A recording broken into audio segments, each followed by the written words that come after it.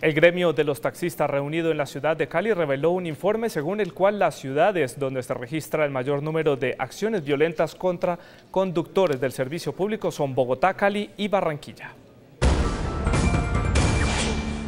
Según datos de las asociaciones de taxistas de Colombia reunidas en Cali, por lo menos tres conductores han sido asesinados cada mes durante el 2014. Bueno, en estos momentos hasta la fecha van 32 eh, asesinatos de compañeros taxistas caídos en el uso de su labor. De acuerdo con las cifras reveladas en el primer Congreso Nacional de Taxistas que se lleva a cabo en la capital vallecaucana, Bogotá es la ciudad con más homicidios con 12 seguida de Cali con 8 y Barranquilla con 6. Bueno, hay unos por hurto y otros que se comprueba de que son de que andan en, cosas individuas.